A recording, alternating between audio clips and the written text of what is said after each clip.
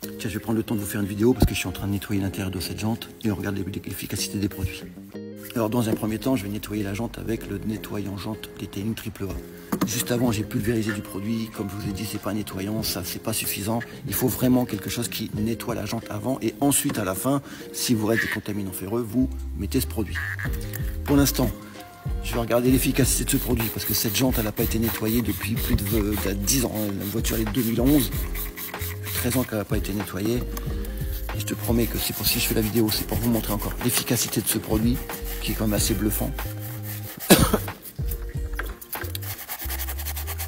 Et là, attends, je fais ça en accéléré, je te montre après.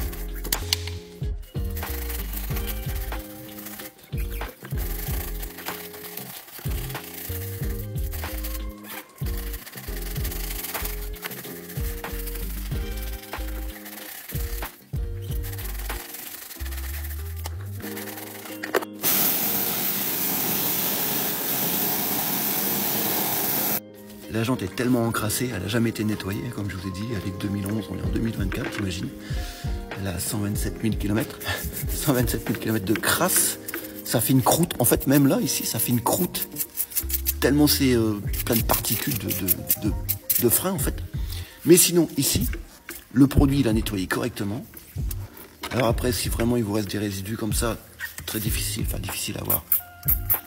Il faudra un peu de patience, de faire plusieurs fois de mettre ensuite du décontaminant ferreux peut-être pour venir faire finir le travail. Mais déjà le nettoyant jante, ce nettoyant jante là, c'est un produit que j'ai dilué, hein, c'est pas la bouteille qui est vendue comme ça. Hein.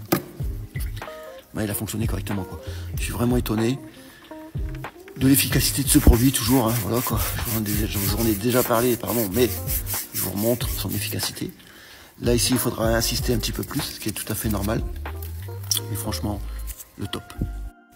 Alors pour être transparent avec vous, donc j'ai continué de mettre du produit et d'essayer de frotter. Ça part, parce qu'on peut le voir, hein, ça commence vraiment à partir. C'est tellement épais que j'ai vraiment du mal. Le produit est efficace, mais il faudra vraiment mettre plusieurs fois, voire peut-être le concentrer un peu plus. Sinon, on a quand même retrouvé quelque chose de propre. On voit ici, hein, tu vois, regarde, là, j'ai pas fait. Et puis, je continue à le faire, et ici, ça part. Mais vraiment, c'est très, très épais.